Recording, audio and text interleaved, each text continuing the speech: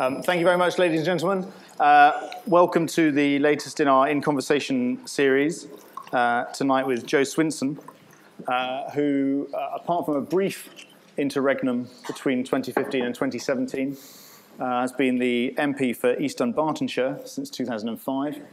Um, she was a minister in the coalition, uh, and she's now deputy leader of the Lib Dems and Foreign Affairs spokesperson. Um, last time at these events, we had Jacob Rees-Mogg, uh, who is the bookies' favourite to be Conservative leader. Um, you're currently the bookies' favourite to be the next Lib Dem leader. Um, I'm trying Emily Thornberry, but I'm getting nowhere. Uh, um, the format tonight will be the same as usual. We will chat for a little bit. Uh, you will get frustrated with my inability to ask a, a decent, uh, sharp question, uh, and then we'll throw it open to, to you, and you can ask whatever you want of Jo. Um, let's start with some questions about the Lib Dems as a party and where they are at the moment. Um, it's it, almost impossible to go a day at the moment without some rumour or whisper of a new centre party being formed, a, uh, a sensible, centrist, pro-European party. Um, what does it say about the existing sensible, centrist, pro-European party that everyone seems to think we need a new one? Um, well, I think one of the things is that it tells you a bit about tribalism in politics because quite a few of the people that we'll talk about needing one um, have previously or currently are in another party, often the Labour Party, and uh, and I think you know the the the um, ability to decide that another party exists that actually is that answer is is a bit more difficult if you're sort of dyed in the wool Labour. Um, uh, I mean, I think the other thing is the other group of people who posit the idea of a new centrist party. I think often come with, uh, let's just say, much less political experience and perhaps a naive view of how straightforward it is to, you know, get stuck in, win elections, you know, that democratic process, and particularly how easy or otherwise it is for a new political force to do that. And I mean, it, it's perhaps a bit of a cop out as a Liberal Democrat, you know, constantly blaming the voting system. But I do think the voting system that we have is um, actually underpins a lot of the dysfunctional nature of our current politics. So you've got a Labour Party, which in most European countries would not be one party. You've got a Conservative Party, ditto. You know, you would not typically find Jacob Rees-Mogg and Anna Soubry in the same party, or John McDonnell and Liz Kendall in the same party. But yet those are the two sort of massive behemoth parties that we have. Um, partly because our voting system is stacked against um, new parties coming in, or even in the case of the Liberal Democrats, you know, a third party, you know, flourishing um, consistently, you know, year after year, election after election. So, um, so I think that's actually part of the answer about, you know, why a new centrist party isn't actually going to fly and the Lib Dems are the best bet. Um, but I mean, you're right. There's a question there about you know how successfully we get that message out there, and you know I think that will you know constantly be tested electorally. We are, if you look at the existing electoral tests in council by-elections, doing incredibly well. Um, so I think there is some cause for cheer, but I equally think you know, I think we'd be kidding if we said we had it all licked. But, but is it also a problem, bluntly, with the brand? That for whatever reason, and however unfair you may think it is, and presumably do think it is, that part of the problem is that those five years in coalition uh, mean that at the last election, the, the, big electoral test, you weren't able to make the breakthrough that many of you maybe felt you would have done. Um, I mean, I, am a marketer previously before I went into mm. politics, uh, so you know I do love branding, um, and and you know I, I, think uh, you know in the commercial world, you know you make slightly different decisions um, about branding, um, but you know we've you know, Liberal Democrats. The clue is in the name. You know it's about you know, our democratic system. It's it's about liberalism. Um, so I think you know we've got the essentials there, um, and and actually if you I mean if you certainly in the 2015 election, if you look at what led to us losing lots of seats. You know, it, it wasn't actually people that were disgusted with the Liberal Democrats having gone into coalition. You know, we lost most of the seats that we lost to the Conservatives because people who had voted Lib Dem then chose to vote Conservative. So these people weren't you know, appalled at us going into coalition. So I think it's a lot more complex than uh, than just sort of assuming that somehow we're tarnished because we went into government. There definitely is an element where having for many years um, picked up some of the protest vote and the sort of anti-establishment, that was harder to do as a governing party and as a party that's recently been in government. But I still think that you know you're in politics to change things, and I still think that you know the decision we made to go into government was the right decision. I'm not going to say every single individual decision we got right while we were there. Of course, we made mistakes, but um, but we got that big decision right because you know you need to you need to change the world if you're in politics. That's what it's about. To, the, to those disaffected people in Conservative Party or the Labour Party, of which there are many on both sides at the moment. Um, what's your message? I mean, would your message be come and join us, or would your message be stay where you are and fight? I, I, think it depends on what the individual wants to do. You know, I, I recognise that there are small L liberal people in other parties, and indeed on Brexit issues, I am working very closely with those individuals, um, people like Chuka Umunna and Anna Soubry and Caroline Lucas. And while we might have disagreements on th some things, actually, there's a huge amount that we agree on. And clearly, if people, you know, who, who have liberal values want to join the Lib Dems, they will be very welcome. Uh, but I do also recognise the, the value that individuals bring, you know, by ploughing those furrows within their own parties. And so, and, and I also understand that for people to switch party, you know, it's, it's, it's not a straightforward thing for them to do. So, um, so I'm not going to sort of judge people for not doing that. If people want to work with us and, uh, and campaign jointly on issues where we agree and where we can, particularly in the uh, the, the arithmetic of the parliament that we're in right now, where we can get real change, uh, then, then I'm very open to, to finding ways to, to work with people in different parties. I think that's important. And as a liberal, as someone who supports proportional representation, I am also a pluralist. So that's part of how I think politics should be done. There's a, a really interesting paradox at the moment, it seems to me, which is that 20 years ago, we'd have taught politics and political parties in, in terms of sort of spatial dimension. And we'd have said that the Liberal Democrats would do really well when the other parties were far apart because they, mm. the other parties would move to the extremes and they would free up this space in the centre ground. And at the moment, the other parties are about as far apart as they've been since the 70s, and yet you're in opinion polls stuck on sort of seven, eight percentage points, even if doing a little bit better yeah. in some local by-elections. You did best when they were really close together. Um, and I don't, I don't know what that tells us about contemporary politics, um, except perhaps that at the moment, politics is being painted in very primary yeah. colours. Yeah. And people with, so, so the, the appeal of Corbyn is clear. Yeah.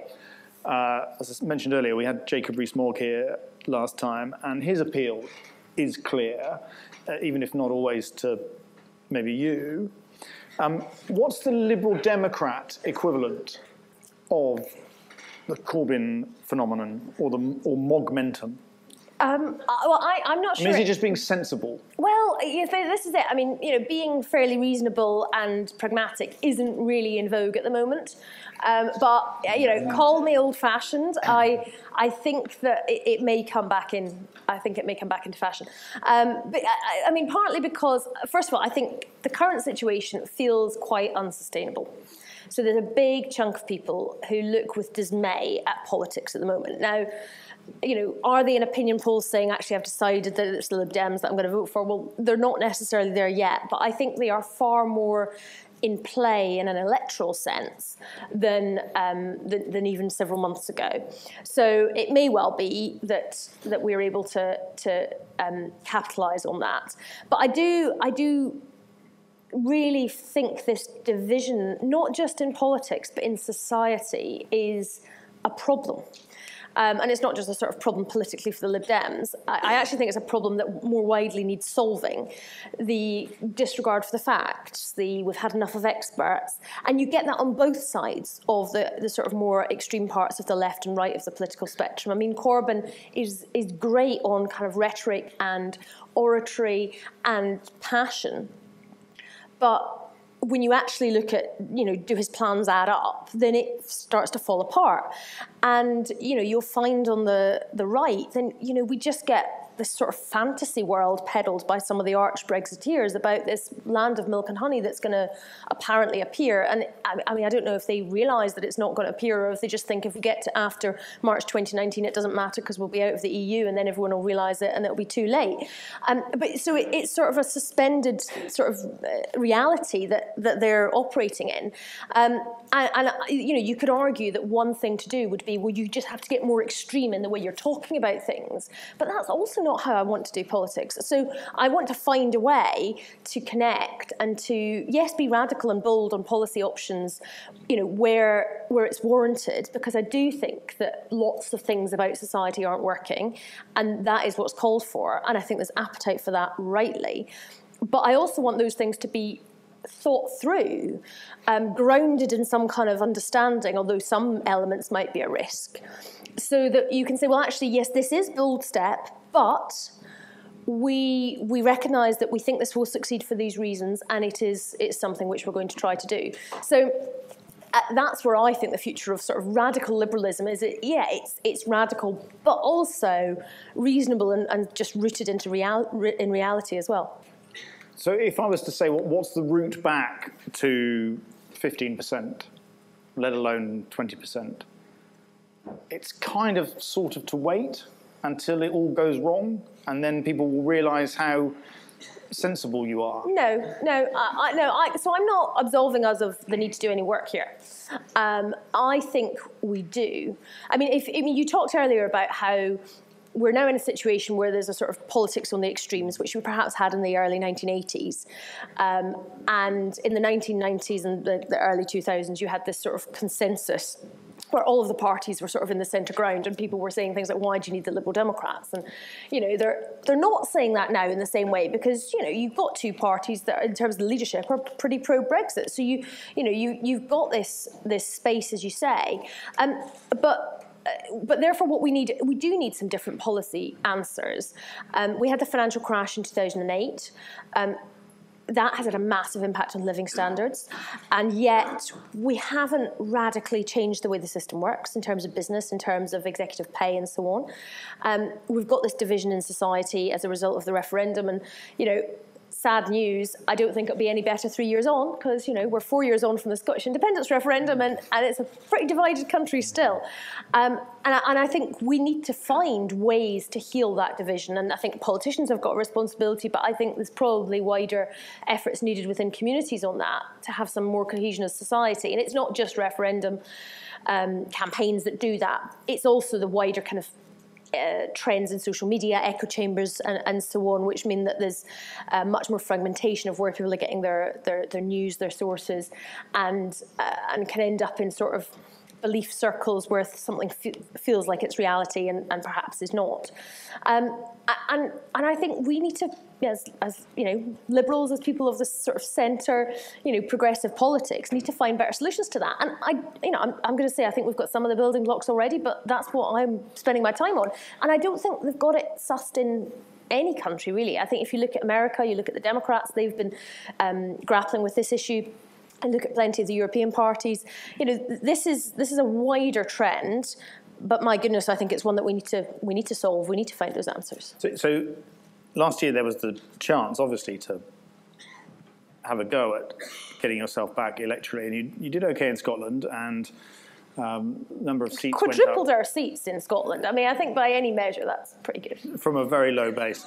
From one uh, to four. From one to four, it's still quadrupling. Yeah, yeah. Um, if, if, that's the measure of success.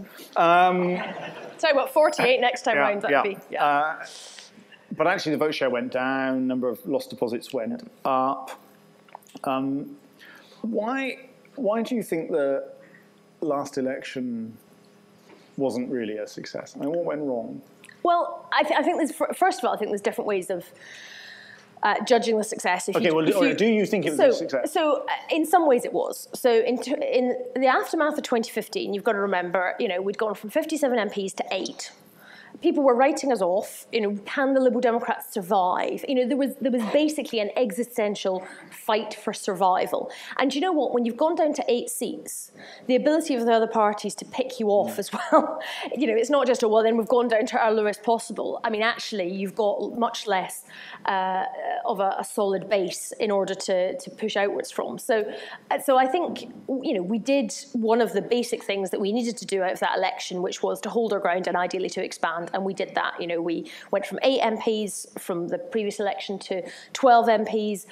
I think also important, we improved our diversity significantly, and we've got a good mix with new blood. Four of those MPs had never been MPs before, so we've got the sort of new talent coming uh, coming through, and, and, that is also important. But would I have liked us to have many more? Clearly, now it was a you know it was a short notice election. I I tell you what, I, the number of people I told very confidently Theresa May wasn't going to call an election. You can tell she doesn't want to do it. I mean, I think she didn't want to do it, and then obviously was talked into it on a on an alpine walk or wherever she was, and. Um, and, and is pretty much regretting it. Um, so I didn't think there was going to be an election, and you know that that presents its own challenges. Yes, you know for all parties, but you know certainly um, certainly for us, where the on the ground constituency work in the run up to an election is so important. Um, and it was a very polarising election, and, and that is one of the things where, as you say, when all the parties are very close together, we did well. Well, I think one of the things was people weren't so scared of the alternative. You know, conservatives who weren't terrified of you know Tony Blair being in number 10 could vote Liberal Democrat with a you know fairly easy conscience to get a great Liberal Democrat MP in their local area because they weren't they weren't petrified of, of what a Blair government would do. And you know that was not the case even even with Ed Miliband, and certainly in terms of Jeremy Corbyn, then there'd be lots of Conservatives that would say the most important thing to me is to make sure that we don't have um, Jeremy Corbyn in number 10. And ditto, you've now got on a more polarised situation, you know, there was a lot of people, the sort of reluctant Corbyn voters, who you know, with heavy heart voted Labour because they didn't like Labour's position on Brexit, um, but they felt the most important thing was to try to stop a Conservative majority. So, so that polarisation, you know, doesn't necessarily um, help us as a party. So, you know, we had some success, and we need to use that as a springboard to have more. I also think the whole issue of Brexit, for all that it was an election sort of cold, you know, on that issue. Uh, a lot of the the really damaging stuff was not yet in the public domain. You know, the debate I think on that, I think public mood on that, you know, is not changing swiftly, but there has been some shift, and I think our position was absolutely right to say that the country deserves to have a say on the final deal and to look at the evidence once the negotiation is complete and to make that decision. At the time that we had that policy at the election last June, that was a pretty far out position to take. And now that is the popular position amongst the public, um, and indeed many politicians from different parties are supporting that position. Um, do you think that it helped that you spent the first two weeks of the election campaign running a theology seminar? Probably not if I'm honest, you know. Um, but, uh, but, but, you know, that'll be well pored over in the psephological history books, I'm sure. Well, I'm writing it, so it will be. Um, but uh, did you have any sympathy for Tim Farron? Um, because because I, I spoke to quite a few Liberal Democrat candidates who say you know they would have their head in their hands during these some of these yeah, interviews, yeah. Um, and in fact several members of his team have said they would have their head in their hand during these interviews. Um, but if I ask you a series of questions about things you believe are or are not sin, presumably you don't do believe you know, in sin, I, well, and I, therefore I, am a humanist. Get, I don't even yeah, believe in God. So, exactly, I mean, exactly. And therefore, therefore, you've got to get out of jail free card on this, right? But he doesn't. He doesn't. He does believe in God, and therefore he does believe in sin. Um, and did you have any sympathy for him for the tension between his beliefs uh, and the manifestation of your policy? Well, uh, I mean, my husband's a Christian. I know lots of Christians who have no problem whatsoever with being, you know, full-hearted in support of gay rights and uh, and not just in support of gay rights, but in not perceiving being gay to be a sin. Um, and they don't find that conflicts with their Christianity. And clearly, Tim has a different view. And so, um, you know, can I feel for somebody who's being asked a question, in essence, to which there is no right answer to? Um, you know, of course, you can you can understand the, the sort of trials. I mean, it probably would have been better to have, you know, uh, gamed that one in terms of you know practicing different answers in advance to to to work it out. But you know we are where we are. But um, yeah, it was it was not helpful for the campaign. Um, and uh, you know we're a liberal party, and I think it is important that we send a very clear message. I mean, uh, sort of theological discussions. I mean, this is where I have something that is, you know, that is not necessarily where, what politicians should be held to account on. You know, he was he was not running for pope, as he said at one point, which I thought was quite a good way of putting it. Um, but uh, but you know, we're still in a world where. Um, you know, in parts of the in countries around the world, people are still executed for being gay. And in this country, there are still, you know, huge amounts of hate crime, discrimination, prejudice, um, you know, everyday bigotry that people come up against. And in those circumstances, I think it is particularly important to, uh, to, to show leadership and to be inclusive. Um, and uh, particularly for a liberal leader, and that was basically the problem. You talked earlier about the referendum, and your, your policy I, I, always get into trouble with, with, Liberal Democrats on this because I get the wording wrong. Yeah. Because I stumble and say it's a second referendum, and I get and they jump on me, they jump on me and beat me brief. up and say it's not a second referendum, it's a first referendum on the deal. Yeah. Very important distinction. I get I get that. If we apply that to Scotland, um, you're opposed to another referendum on on the same question that we had question. last time. Yeah, yeah, yeah, yeah, yeah. But assuming one happens assuming one happens, and assuming it, the independence case wins, would you then insist on a referendum on the deal?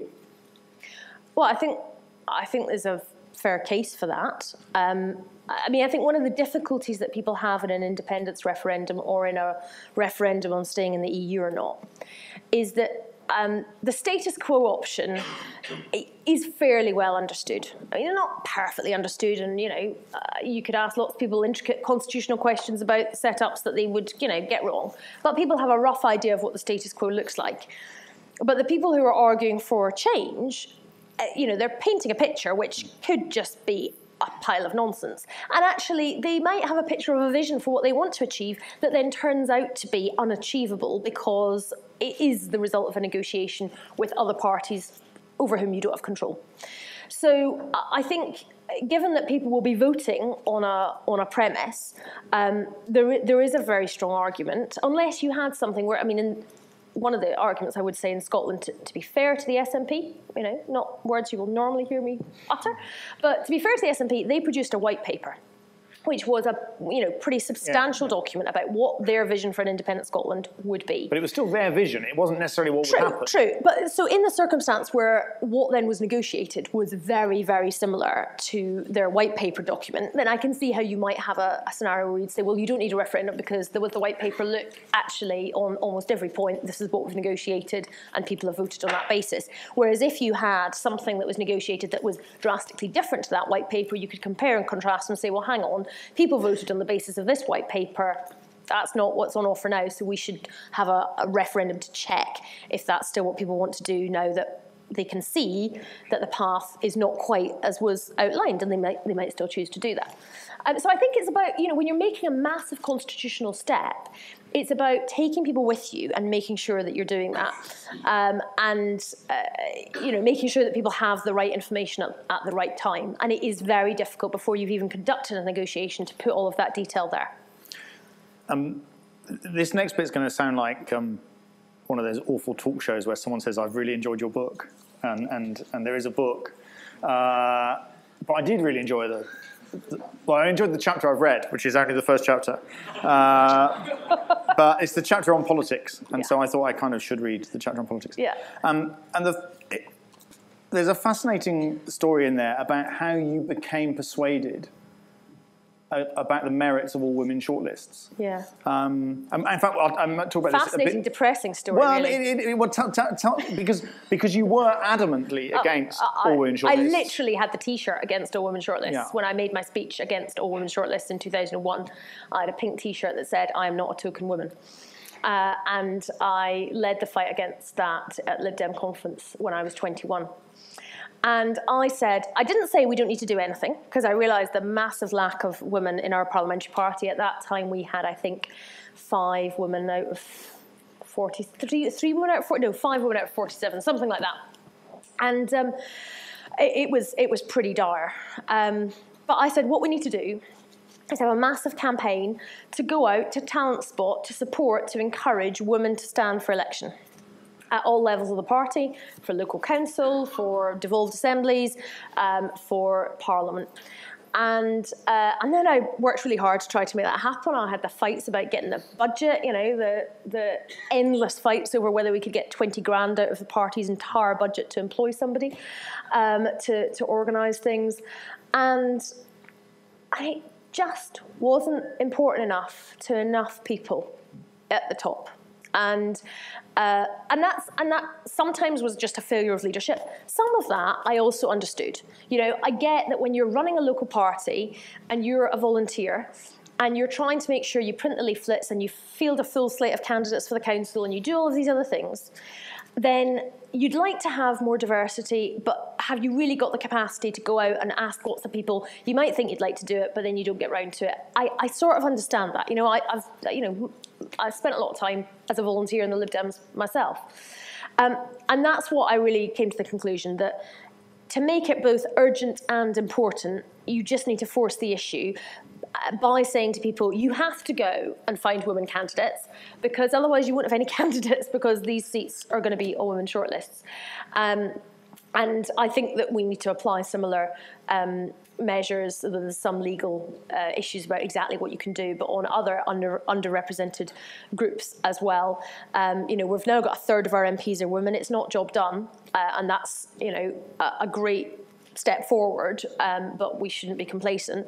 Um, but we're still a largely white um, uh, party in terms of our electoral representation, uh, and that's problematic too. But yeah, I mean, I, I concluded that that was what it would take. I don't think it is the only way to get change, but I think the level of political leadership you need without it um, is exceptional. Uh, absolutely exceptional and um, and very difficult to achieve. When you talk about other groups, when you look at the House of Commons, what is the one group that you most think is missing? Oh, I don't. I you know I'm going to reject that question. I don't think we should pit different underrepresented groups against But you have one done. another. But you have done. You've, you, you, you, you start to list some. So I'm asking you which ones you think are the, numerically the most underrepresented. Well, we could do the maths on it, and I haven't done the, the full maths. I mean, you know, clearly um, BME is very underrepresented. It's always hard to tell exactly how underrepresented LGBT is. Not everybody will obviously be out.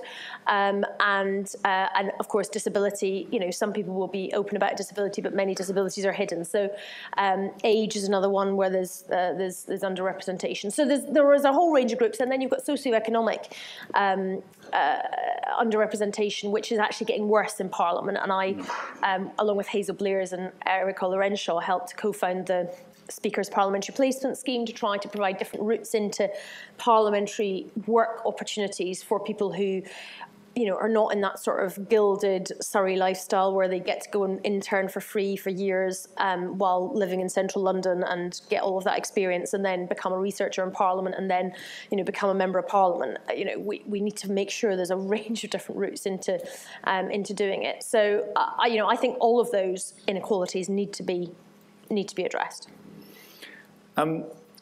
There's a lot in the book. I mean, some of it actually almost um, hand in the mouth, jaw dropping stuff about changes in attitudes over time as a result of getting more women MPs. There's a very revealing interview with you do with Shirley Williams about her, her experience. Um, but what do you think the biggest policy difference, external effect of having more women MPs has been? Um, so the big change was 1997. Um, and uh, I mean, again, academics like you will probably have analysed the, the numbers and so on. But my understanding is that issues of domestic violence and of childcare type issues are raised much, much more as a result of having more women uh, in the chamber. But I don't think it's just about also these issues then get raised. I think it's also about how issues get raised, what types of issues get raised within uh, within debates, and those different perspectives, and also even a bit of the ways of doing politics. I mean, we're talking about generalizations here, um, but uh, but I think I think you know there are some. Uh, different styles that different people bring that sometimes you'll get you know men that won't have that sort of alpha male style um, and I think to have a better range of approaches to politics um, amongst men and women is is healthy because just having it all like PMQs is not the most enlightening thing. Yeah, although women are quite good at shouting at PMQs as well, I've noticed. Yeah, I'm not. As I say, it's not entirely. Um, it's not entirely a gendered thing, but I think. I think. Uh, I think there is. Well, my experience sitting in there is that uh, that there is there's more kind of noise from the blokes. I, I mean, there's some weird noises in PMQs. Mm. I, I often remember thinking that some of them, and they would be like replicated you know, people are clearly like sort of, you know, got their PMQ noise that would be some kind of zoo animal type noise, and they, you know, they would do the same thing again and again. Um, but um, yeah, it's, I mean, it, it's a bit of theatre, but it, it's not Parliament at its best at all. Um, uh, you used the word, I think, naive. You used it earlier actually, and and you use it twice in the first chapter about yourself. Mm. Uh, once in terms of thinking uh, you could achieve this change in, in uh, female representation without all women shortlists. But you then also use it, I, I thought it was a really interesting section where you discussed how in opposition you thought ministers were sort of all deciding. There's a phrase, I hadn't realised um, all the constraints that ministers were working under. I naively assumed individual ministers could just snap their fingers and make a decision to accept an amendment to a bill they were taking through Parliament. Um, and I just wonder whether when you went into government, you had more sympathy for people that had done the job before because you realised the, the constraints they work under and the cross pressures they work under. Well, I, and I know I, I find I sometimes long for the days of opposition where I could just say the simple soundbite and, and mean it, because I used to say it and mean it, and so that was fine. and now I just know the world's a bit more complicated. I can't unknow that.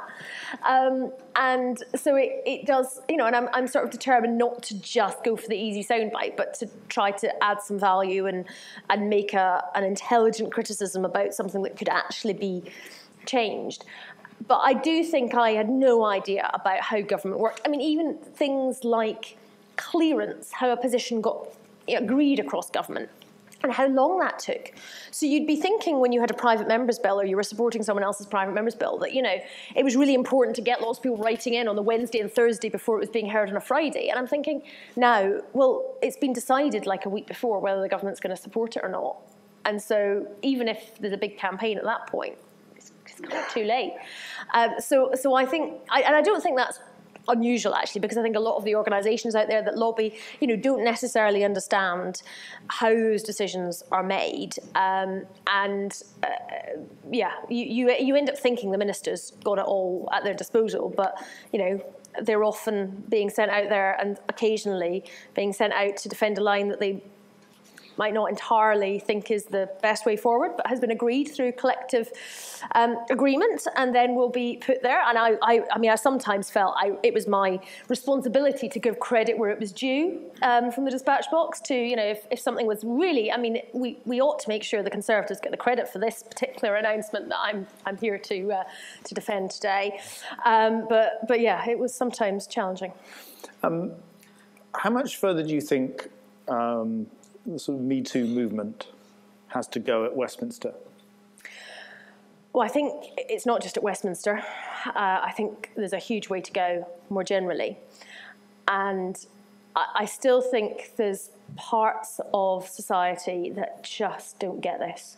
Um, and I mean, I loved the President's Club um, expose that was done by the FT. I, I, thought it was amazing that it was done by the FT, which is exactly where it needs to be. That's the people reading it that need to, you know, see this stuff.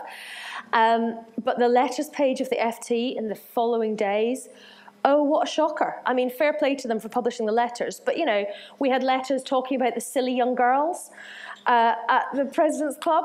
Um, and I love the tweet that talked about how, so let's get this straight, um, all the women that were there knew exactly what they were getting into. But all the men that were there had no idea what it was about and they left before it started. and it, I mean, the double standards that we just saw applied in that whole thing were, were shocking. Um, but, th but that is it. I mean, there's people going there, well, what's the fuss about? I mean, well, they were being paid money, so they were, well, well they were being groped about. What's the problem? And that is the problem. It's that attitude. And uh, so... So do, so do you think the authorities at Westminster are on top of this? Yeah, well, I was involved in the cross-party working group. We've published a very serious report with some really good recommendations. They still will need to be passed by Parliament in a vote um, within the next few weeks and then further details um, hammered out. Um, but that is moving at a good pace while taking care to, to get it right. Um, and, and that's helpful, but that is, I mean, we've been looking at how do you put in place a complaints procedure that's independent and then you can deal with it when there's problems. But the, the biggest thing we need to do is change the culture so this stuff doesn't happen in the first place. And one of the things that I fought very hard for in that working group, which we got, is an agreement that there should be compulsory training. And you know, of, of MPs and staff, and any, particularly anyone who's employing members of staff. And I, did an interview with um, John Humphrys on the Today programme about this, and he was kind of going, well, what, the MPs need training? That, you know, are you really saying they don't know what sexual harassment is? And, and, the point is there's loads of people out there that don't know what it is because they've been doing this. They either don't know or they don't care. And that will include some MPs, there's 650. So yeah, we need to make sure everyone's trained. But the fact that that's a sort of apparent sensible line of questioning for a mainstream interviewer also tells you, speaks volumes about, you know, what people think of, of this issue. And, that, you know, that the government's now rolling back on compulsory education on sex and relationships. I, am just dismayed. I'm like, you know, what more evidence do you need that teaching young people about consent, teaching all young people about consent is absolutely essential than this mess and all of these scandals that we still keep coming across? And, you know, we've seen Weinstein, we've seen um, Parliament, the charity sector, you know, you can say, the oh, that's a problem. Yeah, every political party, right? society, right? I mean, you know, do we think there's no sexual harassment going on at this university? Of course not. The, the, the, statistics about sexual harassment in universities are terrifying. And even in schools, this happens to women and some men, but almost every woman will have experiences of harassment at various points in their lives. The age at which young people first experience it for girls, it's often in their early teenage years, if not earlier you know, this is just not on. And the Me Too movement is brilliant for standing up, people having solidarity to say that. And it has got a long way to go because there's a big problem to change. And so, yeah, I think it will keep growing. And I think people will draw power from one another and keep taking action until it's taken seriously. Um, I'm going to if you're going to do it, do it properly. Um,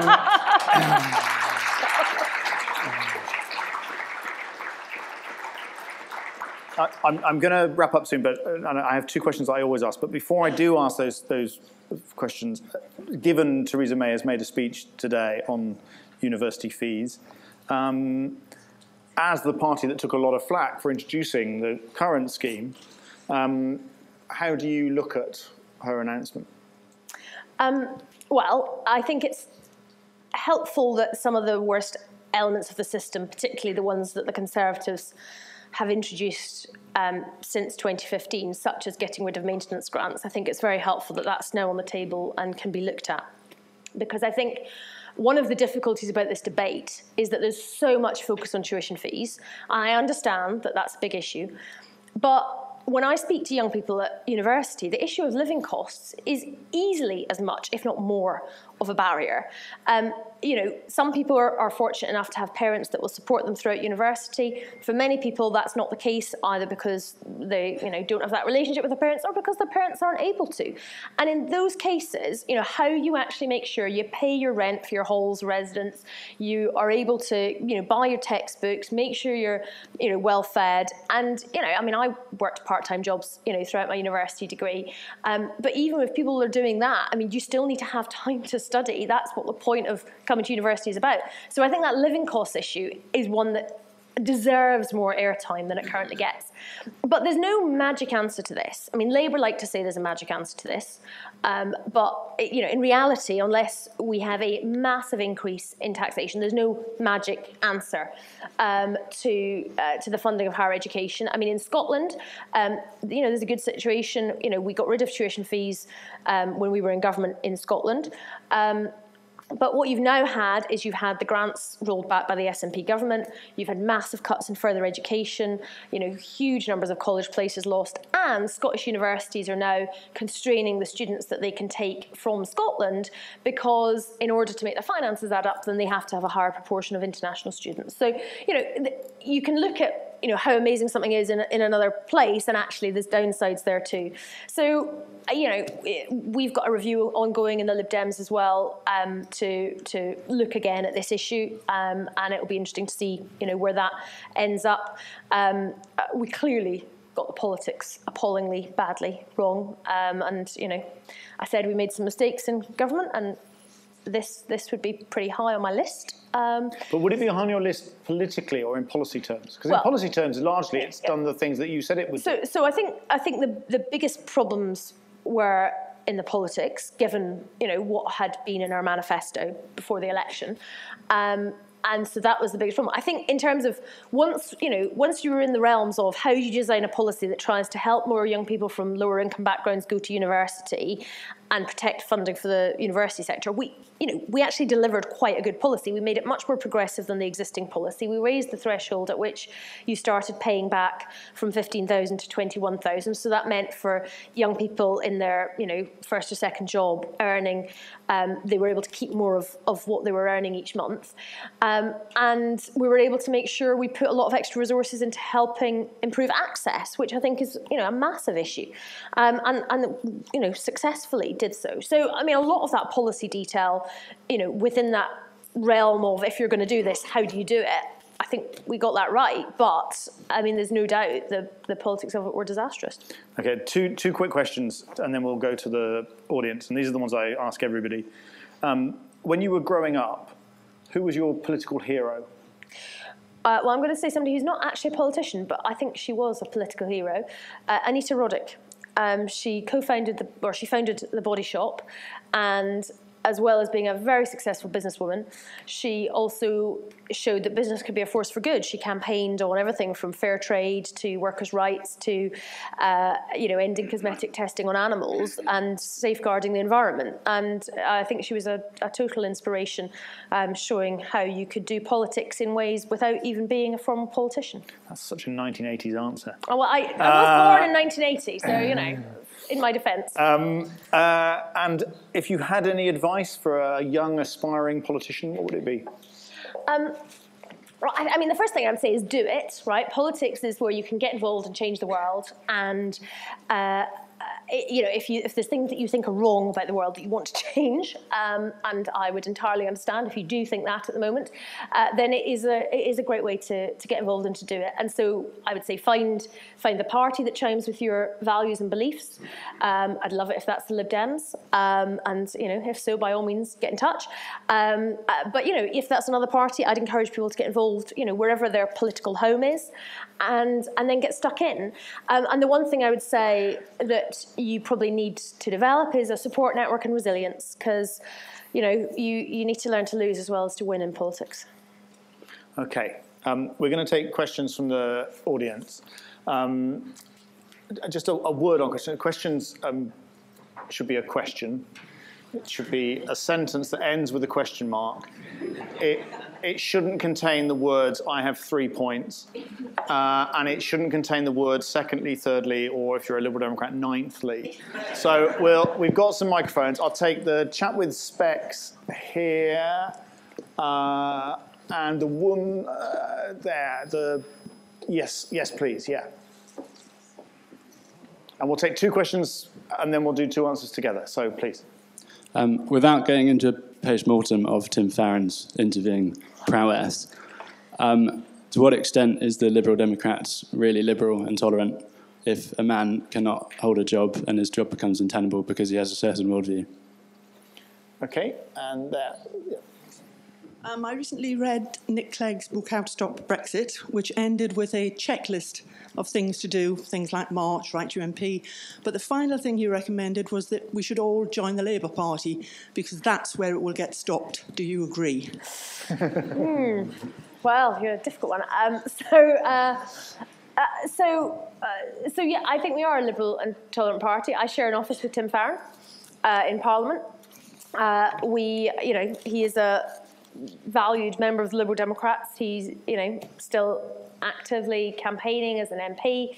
He came to the conclusion personally that he couldn't combine being the leader of the party um, with, you know, his views and the scrutiny on some elements of those that that entails. And, you know, I when I spoke to him about it, I actually encouraged him to, I was encouraging him to stay on shortly after the election. Um, and, uh, you know, he told me that you know, he'd come to this conclusion actually during the election campaign. And, you know, I could see sort of etched on his face the, the sort of the turmoil he was facing. And, I, you know, you can't, you can't force somebody to continue doing a job that's making them miserable. Um, and, you know, we can't, we can't prevent the media asking questions like that. You know, so so if that's going to make him miserable, then of course, you know, he's got every right to say, I don't want to continue doing this job. But he's still, uh, you know, very active member of the party. Um, and we have got, you know, lots of people from all sorts of different faiths, you know, in the Lib Dems, and, and rightly so. And, you know, we have lively debates all the time. What, what do you think would have happened if, instead of equivocating, which he clearly was doing because he was torn, he'd simply said, uh, yes, I believe it's a sin, but I'm a liberal, and therefore I believe that we shouldn't punish people for their sin. We should legislate for people to be free. I mean, I think in one of his formulations, he kind of tried to we say tried, that. yes, yeah. Never, um, never quite as openly as that. Yeah, uh, but I mean, uh, you know, there's you know, how, how long that would have lasted in terms of the media. I mean, that's the thing. I don't know what the perfect answer to the question is um, because I, I find it slightly difficult to come from the situation where you know, well, that's not something I feel comfortable saying. Uh, so, um, so uh, yeah, I suppose you either say it's not for me to, you know, share those private issues and sin, which he also tried, you know, and I mean, you know, sometimes with media scrutiny, um, there's not necessarily fairness when you're a public figure as leader of a political party, then even things which to most people we rightly defend the right for those to be purely private issues, they sometimes become issues of interest and it, and it's a bit difficult to therefore keep things entirely private. And you know, you have similar issues when you've had, you know, uh, I mean obviously in slightly different issues where you've had politicians who've been saying one thing about, you know, the education system and then making a decision about where to send their child to school. Now in normal circumstances I would say it's really not fair game for the media to be intruding in where some, you know, the decisions somebody's making about their child and bringing that into it. But in those, you know, particular circumstances then it would be brought into it. So, you know, as I say, we don't control the media, rightly. um, we don't control the media. Um, and so it's, um, it, it's not like there was an easy answer to that. And, you know, Tim came to the conclusion that he did about what for him was the ultimate thing that he had to do. In terms of the question, should everyone join Labour? No. Um, mm. and, I, and I, I mean, I, um, I'm not sure that's exactly uh, what he said. I think what he was saying was if you're sort of Labour minded, um, then join Labour. And actually, I think he also suggested if you're kind of conservative, you know, if you're naturally a conservative, but you just don't happen to be a member of the party and you're anti-Brexit, then you know, join the party and make your voice heard. Um, so that yes, that's that's not the um, that's that's not the only answer. But I, I, would say I do like a book that gives a little checklist um, of things that you can do. And he might have had one at the end of the book. I've got one at the end of every chapter. I wouldn't know that because I've only read the first chapter. uh, um, we'll take the woman down here, please. Right, right, yeah, the sort of third row back, uh, and yeah, go on. Yeah. And then Guy uh, in the black shirt. So about six rows down with his hand in the air, black hair. Yeah. Yes, please. Um, is there a risk that the Good Friday Agreement will be sacrificed on the altar of Brexit by the Conservatives? And if we can get the mic across to Guy.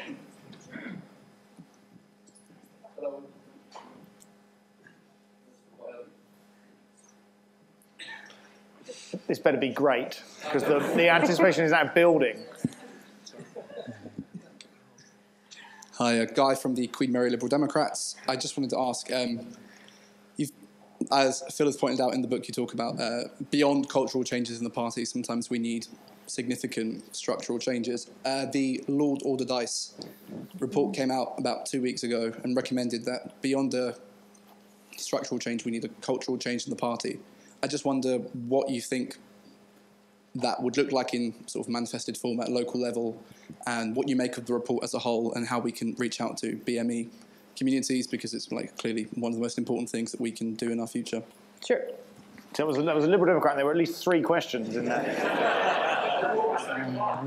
If it had been Simon Hughes, it would have been 16. Um, so, uh, so first of all, on the Good Friday Agreement, I mean, yeah, I think this is a huge risk, and and, and I, I think it's one of the many, many dismaying things about Brexit. You know, number 428 or something. Um, but but it is yeah, it is absolutely terrifying that you know you have a great success story there and you know it's not all perfect as we, as we know but you know you basically have had you know a peace process that has you know, has been you know successful for 20 years, and that is now at risk, and, it, and it's sort of cavalierly at risk. And that's not a word, but you know what I mean. Um, it, just with this sort of attitude that almost like, well, we haven't really thought about it. I'm sure there'll be an answer somehow, but it doesn't really matter because it's Northern Ireland.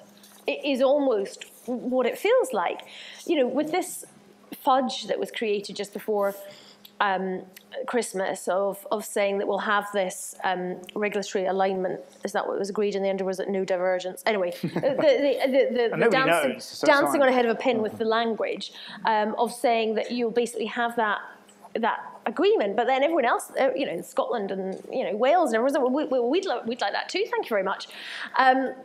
But the, the, real truth is you can't you can't have that if you're not going to be in the customs union at least and that's what is also apparently a red line so it, it does just feel like you know this is not being taken seriously enough um, by the government and um, one of many many many reasons uh, why people should buy Nick Clegg's book on how to stop Brexit and uh, take action to, to, to stop it because we've got an opportunity, right? You know, the, you know, we have not left the European Union yet, right?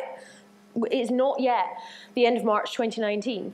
And, uh, you know, there is all to play for.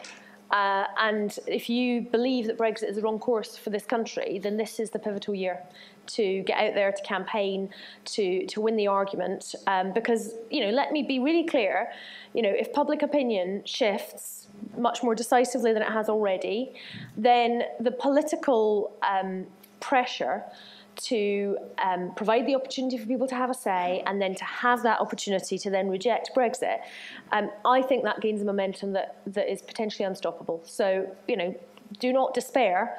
We have, you know, this is not inevitable. Our European partners have said very clearly to us, you know, sort of, if you change your mind, we can just sort of rip up that Article 50 letter. We'll pretend it never happened. And um, we, we really ought to, we really ought to be using this time this year um, to, to make that happen. Do you really think we would be readmitted without having to abide by Schengen, for example?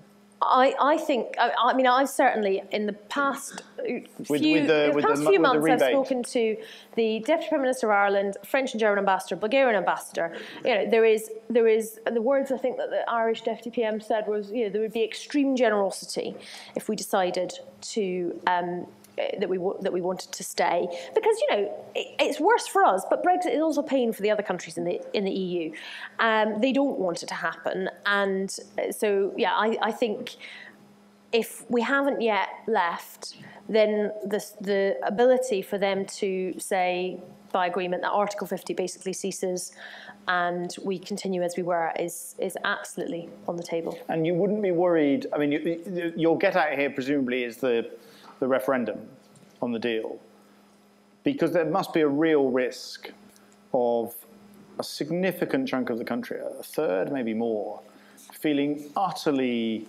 betrayed by the political class if this happened. I, I mean, I, look, I am, I'm not, uh, I'm not blind to the difficulties about this, um, but I do happen to believe that what we're on the brink of doing is so, is so uh, amazingly um, bad for our economic prospects, for our future influence in the world, for you know the whole opportunities that the next generation is going to have. That we need to take the chance and to try to make sure that we can have choose a different path. And I absolutely agree that you know this process started with a, a you know a full vote of the British people, and so if there is to be a change in direction, that can't just be something which is decided in Parliament or whatever, that needs to be something which is um, endorsed by the people um, fairly in a referendum. And, and I think that's you know what we've been proposing and setting out for many months now.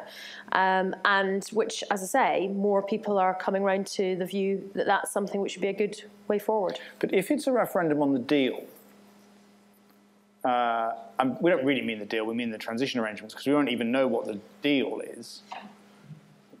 When does that referendum take place? When is the campaign? We, we've said it should take place at the end of this year.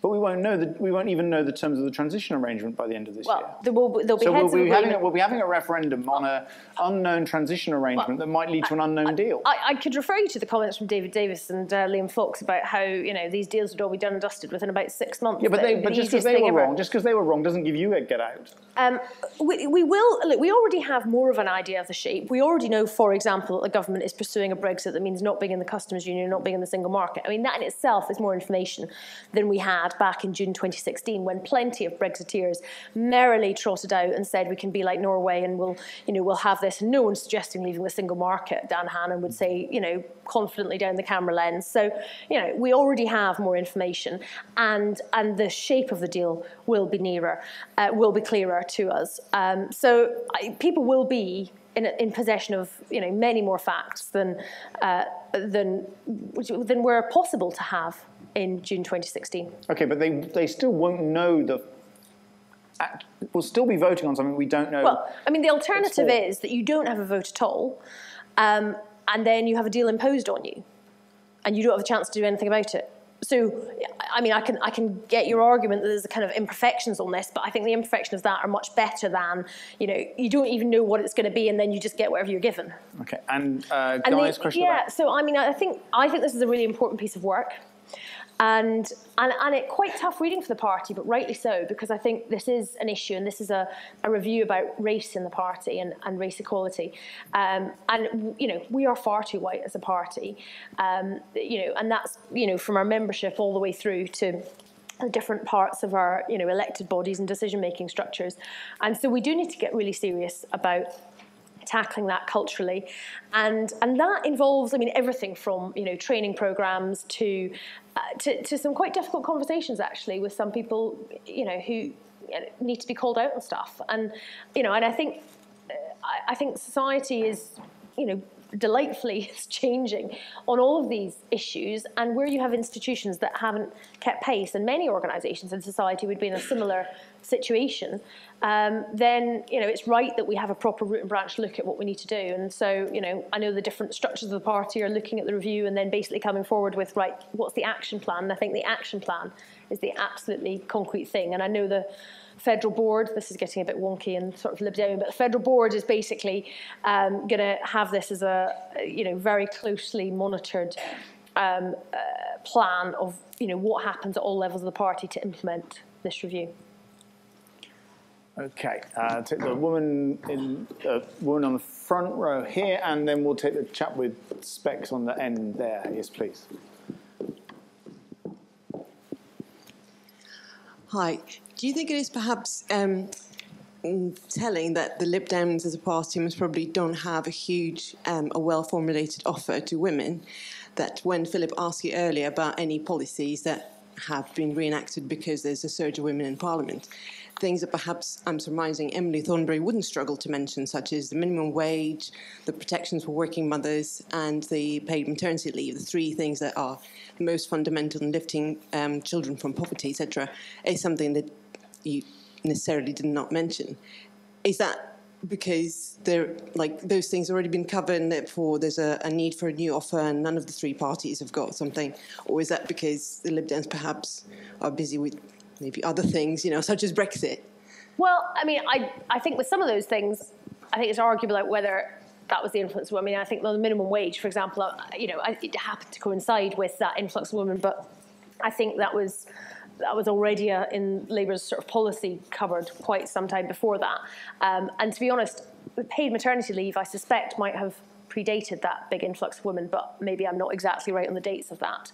Um, I would have imagined that would probably have been pre-97. But I mean, I think um, the, I mean, I wasn't answering it from a sort of party perspective. I mean, you know, when I was a minister, um, the thing I was proudest of doing was introducing shared parental leave because I very strongly believe that in order to get equality in the workplace, uh, we need to have much more equality at home. And I'm not going to say shared parental leave is perfect, not least because we have to deliver it in a coalition, but it's a really important step to where we need to get to. And recognising that gender equality is actually not just about women. So most of the negative impacts of gender inequality do fall on women, but some of them also fall on men. And the way in which fathers are treated in this society, the way they are assumed to be incompetent, uh, and the, are, they are, yeah, they are, they totally are, mm. and they are, you know, undervalued. I mean, it, you know, you, I mean, it is almost sort of laughable sometimes. I'll share stories with my husband about, mm. you know, what people have felt able to come up to him and say on the bus when he happens to be on the bus with our son who's got a big gash on his head, you know, and he, you know, he hit his head at nursery, right? so it wasn't like it was my husband's fault, but you know, suddenly the unsolicited advice because people assume that you know he's just um, been, been incapable of, of being a dad.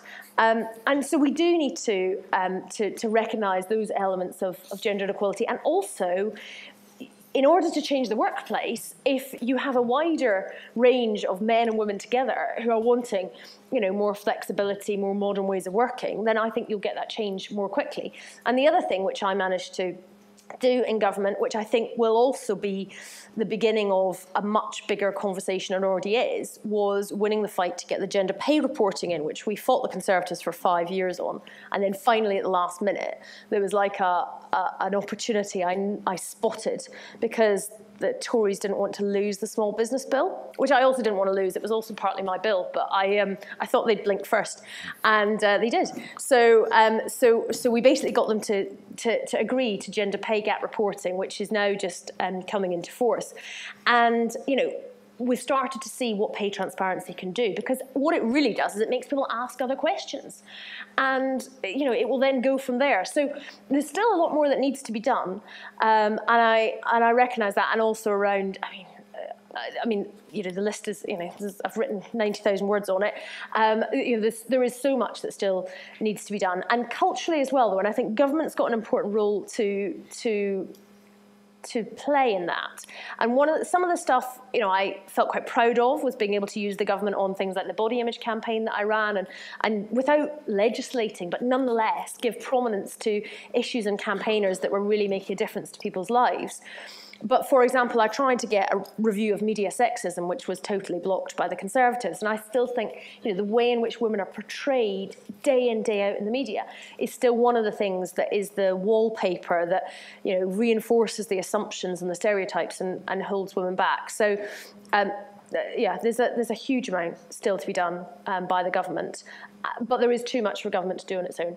We also need a sort of movement of individuals taking action in their everyday lives. I think there's a special stare that mums have for dads at the school gate. It's a sort of here he is, the useless dad, come to pick up his child. I mean, it's partly because I am pretty useless, but I, uh, as a father, but but, uh, but, but I believe do, me, you can be quite useless as a mother too. But you can exactly, exactly. They, they, they, I see the contempt in their eyes as I approach the school gate. Sorry, the uh, chap up there with the glasses. Yes, please. Hello. Um, do you think there are any liberal arguments for Brexit in terms of devolution, free trade, or immigration, or is it all bad news? And if so, why? Um, I'm, I'm, I'm, thinking hard now. Um, no, I, I don't. Well, I, I, suppose the liberal argument for Brexit would be the, the pure sovereignty argument in terms of um, that sort of freedom issue over your own your own affairs. That would be the argument. And you know, there is a there is a respectable argument to be made that says, I believe it is just more important that we have all of that sovereignty, even if we are poorer, even if we have less influence, even if we um, have less um, enrichment of our culture through greater trade and movement of people between countries. Um, I disagree with that, but that is what I would say would be the sort of respectable argument. And the difficulty is that's not the argument that gets made.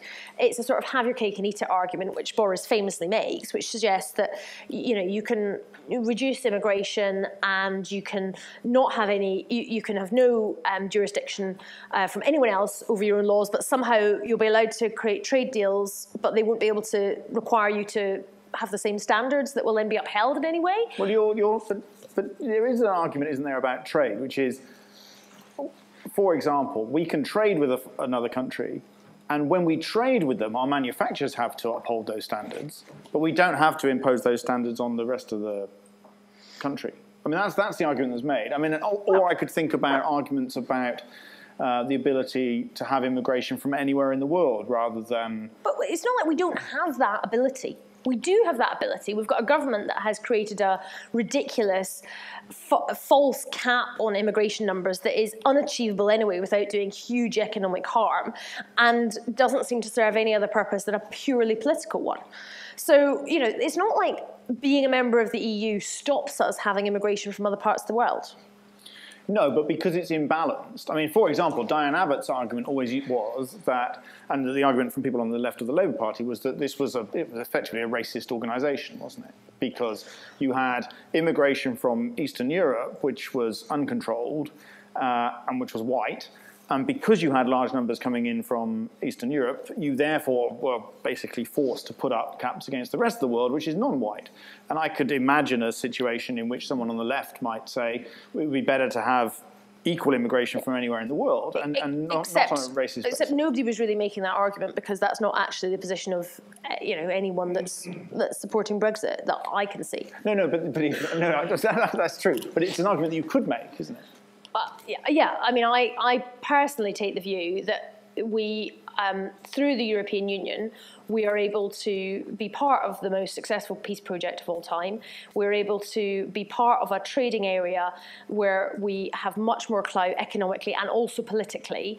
Uh, our companies have an ability, therefore, to grow more easily because they're part of this huge market. And then from there, they're able to use that as a stepping stone. Um, you've got the reduced transaction costs, you've got the reduced regulatory burdens, and it doesn't stop you making trade deals with the rest of the world. I mean, Germany trades a lot more with China than we do. They're a member of the European Union. It's not as if this is this is problematic. So, uh, you know, the, I, I, I really remain to, not, to be convinced they're not able of to make the, their own trade deal with China, are they? but, but it's not that the trade deal's what's constraining us in terms of exporting and trading with, with China. I mean, that, that's, that's not the issue. It's not the deals that have been done. And actually, being able to do deals as part of a bigger entity gives you gives you much more clout in those negotiations than what we're going to have. And I mean, as you say, you know, you might if you don't if you don't happen to like the regulatory standards that are imposed, then you might take the view that you would like to not have them. But you know, I, am not sure I really want to be eating chlorinated chicken, thank you very much. You know, I quite like having good food welfare standards and safety standards on products when I go and, you know, buy toys for my son. You know, I think it's good that we've got rules about how much lead you're allowed to have in the paint and, you know, all of those things. They, they still, sort of get... We can still have all of those things, can't we? Well, we, well, we, we, we, can decide, but the, yeah, the, but the Brexiteer would argue we can decide to have those things. Yes, we can, but it's not as if we've got a massive problem with the ones that exist at the moment, and you've actually found that on lots of different issues, issues, we've ended up having better regulation through having that you know, agreed across the European Union, and the businesses then get the benefit of having one set of rules to comply with rather than 28 different sets. Okay, rules. we'll take two final questions and then uh, we'll wrap up. So, uh, woman in the middle row there. Yeah, yes, yeah. Uh, and then we'll take this chap, the red top down at the front, please. Um, hello. Uh, this sounds like quite a facetious question, but I mean it genuinely. Uh, why are you a Liberal Democrat? Okay. And uh, if we can take quickly take a mic down to the chap at the front, that'd be great. Uh, hi. I used to live, I, I do live, I suppose, uh, in what was your husband's old constituency in Chippenham. And that constituency swung to the Conservatives. And in 2017, the swing increased to the Conservatives. and that's something that was replicated across the country in many other constituencies. So my question is, how do you break the Conservative hold over rural areas? Because it seems to be somewhere that's been forgotten by the two other major parties in this country. Sure. Um, well, if I take that question first, I, mean, I think, I think probably most people in, in the constituency of Chippenham don't live in very rural areas. They're mainly in the towns. But, um, but nonetheless, you're right. That I mean, there, you know, those were significant swings, and it was the phenomenon that I talked about earlier, where it was people that had voted Liberal Democrat. It wasn't that they deserted us and went to the Labour Party and the Conservatives got through the middle. It was that they, you know, they switched directly to um, to the Conservatives and said, well, what's more important for me is to have a Conservative government. And I think this goes partly to that issue of when people are so terrified in those areas of what's on offer from the Labour Party, and there might be some areas of the country where it's in the opposite direction. And you know, there, there is no doubt um, that that some of that is a difficult, um, you know, a difficult problem to overcome. Where you know people would say to my husband, "Well, we think you're a great MP." But it's more important to me here that we have a Conservative MP. Um, and, and that's kind of been the part of the challenge that we've had since, since day one. And, uh, you know, part of that's about the issues and the offer that we have. Part of that's about credibility. And so that's about making sure that we do, um, you know, fight in the council by-elections and show that we're gaining momentum. That's why it was a success and why it was important that at the election last year that we increased our number of MPs. Um, so it, all of this is part of the, the Lib Dem fight back. Um, and, you know, there is a different dynamic on British politics now where, um, and, it, you know, it's not exclusively about a rural-urban thing, but more urban areas where more Remain voting. And this Remain Leave dynamic is, you know, a huge sort of filter through which the rest of politics is, is seen. And as a very strongly pro-European party, um, then that can be an additional barrier. And it probably has an impact on, um, on, on some of the areas where we're most likely to do well in, in future elections. And in answer to the question about why I'm a Liberal Democrat, I'm going to give you two answers. Maybe this is very Lib Dem of me, but I'm going to tell you why I became a Liberal Democrat and, and also why I am one now. So uh, it was very straightforward for me when I was a teenager and I joined the party. There were two main issues that drew me to the Lib Dems. Um, the first one was education, and that was at the time of uh, Paddy Ashdown's leadership, a penny on income tax for education, which I believed and still believe is the sort of cornerstone of um, the successful society we want to build because it, it has the positive impacts for so many other parts of uh, society from health to crime levels to the economy. Um, and so investment in education is absolutely crucial. And that's why I was so proud of the pupil premium that we delivered uh, in government um, to really make sure that you know people from whatever background could get the best start in life. Um, and the other reason that I joined was proportional representation. So I really am a true Liberal Democrat. That was, that was one of my founding reasons. Um, perhaps slightly ironically, growing up in a constituency in the west of Scotland uh, that I thought was dreadfully unfair because when I was old enough to vote, I was like, well, it doesn't matter how I vote because it's always going to elect a Labour MP. Um, and all right, there were boundary changes, but I was then later elected there. Uh, and then the SNP. So, you know, it obviously wasn't always going to elect a Labour MP, uh, but now um, Lib Dem again, which is, which is nice. Um, but the... The, the, the why I'm a Liberal Democrat, I mean, so those were the reasons I joined, but um, my sort of liberal journey, if you like, uh, in understanding liberalism better, which I've done from a practical sense. I didn't study politics, you know, um, so it wasn't like I, you know, went and read John Stuart Mill and decided that I was a Lib Dem as a result. Um, but it is about freedom. It is about um, a focus on the individual, that every individual matters, and that they are an individual. So it's not to say that we can't come together and have more power together. We absolutely can. But it is about valuing the person as an individual, and that's where my, you know, support for things like equality come from, um, and also that sort of open open-minded, open-hearted internationalist outlook, um, which I think the Liberal Democrats have at our core, um, that is part of my, my worldview of the kind of um, world that we want to live in, and that also is about the individual, really. It's about saying, yes, countries are important, nation states are important as structures, but, you know, we are, I think there is such a thing as a citizen of the world. You know, we are all in this world together and there's a lot of problems that we have to face jointly. Um, you know, ones like climate change are really obvious where you know, one country's actions impact on another country's actions, but but wider challenges of uh, of poverty, of um, you know, extremism, crime, terrorism, and so on. Um, so we have to work together, and um, and and that for me that that comes back to my sort of basic, you know, liberal outlook about freedom and the individual. Have there been moments where, as part of that journey, your faith in the party has been tested? Um, I, I mean, there's been moments of frustration in the party. You know, there's, there's, you know, there's been times that I've come out of committee meetings and, you know, head in your hands moments about uh, sort of decisions being made. And there's been times, you know, as I explain in the book, when I've been frustrated about, you know, decisions that have been made by uh, by leadership and so on. But the party's bigger than that to me. I mean, it, it feels very much like a family. It's that kind of environment. Um, even though it's a much bigger family now that we've got, you know, 100,000 members, which is many more than when I first joined. Um, but it, yeah, I mean, it, it's, I, I suppose, you know, there'll be individuals that sometimes do your head in, but that's life, really, isn't it?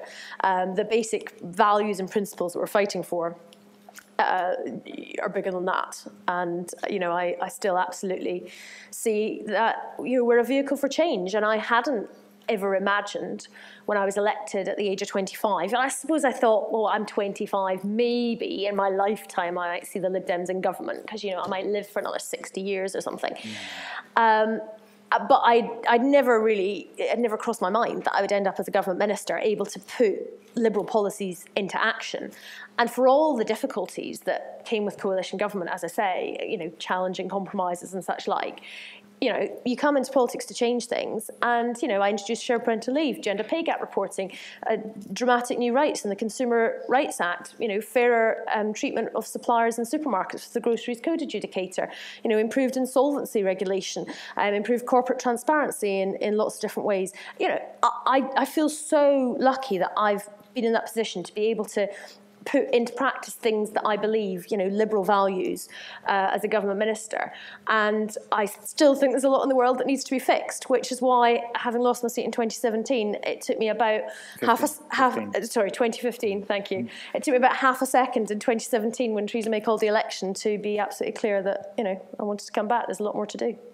Thank you. Um, that was fascinating. We're going to prove that um, uh, universities spend their money very wisely by offering the audience a terrible glass of wine in a minute. Um, Fine by me. uh, if you could show your appreciation to Jo in the usual manner.